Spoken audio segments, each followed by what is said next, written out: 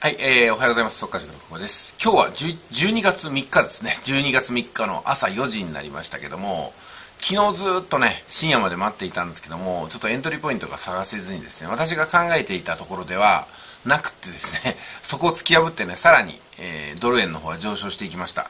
あということで、円安に向かったわけなんですけども、必ずね、円高に向かうポイントがあると思うんですよ。今日はそのあたり、ここだと思ったんだけど違った。でもここでもう一回、セルに入ってみようかなと思うポイントがありますんで、そちらの方を見ていきましょう。それでは動画を切り替えます。えー、まあ今日は1時間だけで解説していきますけども、これがね1時間なんですよ。私がね、転換すると思ったのは、ここなんですよね。このヒゲが頼りになって、こうぐーっと上がったところ、あ、失礼しました。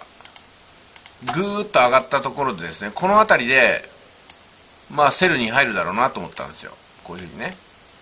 ところがそうならなかった。もっともっと上昇していったんですよ。でこの途中で思ったのはもしかしたらねこのダブルボトムが有効に来てトレンド、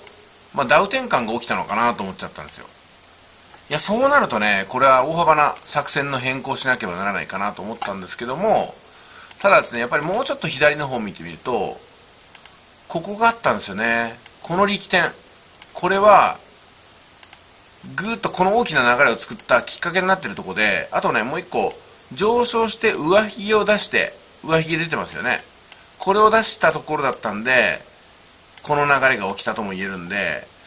私はねここにかけてみようかなと思ってるんですよ。ここへ。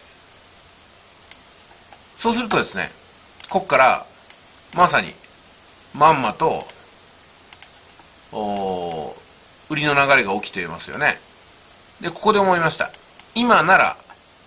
この力点が作用するはずだと、まあ、ですんで今まさにこの瞬間ですね。今4時10分ですけどもセルに入るところで押していけるんじゃないかなと思いますんでこれからエントリーしてみようかと思います。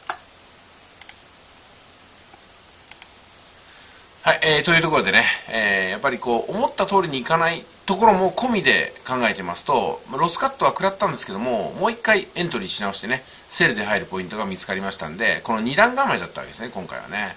でここからちょっと売りに入っていこうかと思いますんでこれからエントリーしますね、えー、夜が明けて、えー、朝9時ぐらいですかね。9時ぐらい5時間後にどういうふうな動きになってるのかあと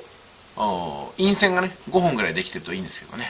そうするとそこで今日は午前中決済ができるかなと思います。ただこれ伸びていくようでしたら決済するともったいないんで取れるだけ取っていこうかなと思いますね。ということで、え、10本ぐらいはね陰線を見ていきたいですね、えー、本日は以上でございます。ついにセルに入るよってことです。もう12時間ぐらい私の当てから外れたんですけども今から入っても遅くないと思います、えー、それではね木曜日金曜日の値動きを皆さんと一緒にまた感じていきましょう。えーと今日がね3日でしょ？4日でしょ？そうですね。これね本当ね今月はね前半ぐらいしか勝負ができないと思うんでうーんそうだな。21日からの週ってのはねあんまり値動き毎年期待できないんですよね。私はそんな感覚です。ではいってらっしゃい。